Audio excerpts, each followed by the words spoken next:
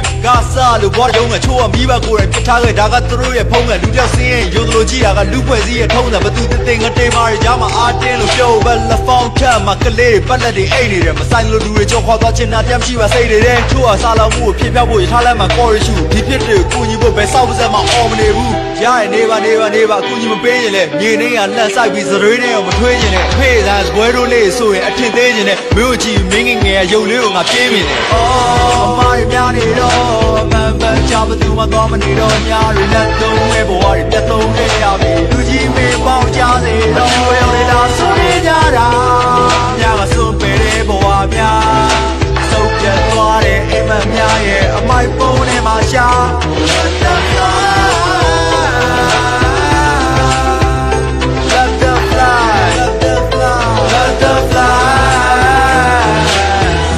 စိတ်ဝင်စားလူမျိုးကြီးနဲ့ဘာသာကြီးချို့ကနိုင်ငံရေးဆိုပြီးတော့ကိုကြိုးကြီးပဲရှာတာတွေ့အတ္တလေးဘေးချဆန္ဒတွေပါပြေးမပြနဲ့အနည်းဆုံးကိုယ့်ပတ်ဝန်းကျင်ကကလေးလူသားတွေကိုညှတာပေးအသိဉာဏ်ပေးဖို့ထက်အပြစ်ဒဏ်တွေကောက်တတ်ဖို့ပဲအစာတွေကစိတ်ကူးမရှိခမောက်ထက်ဖောက်ထွက်ဖို့လေကလေးတွေကတိုင်းပြည်ရဲ့အနာဂတ်ဆိုဘယ်သူတွေများစောက်ဖက်လို့လဲ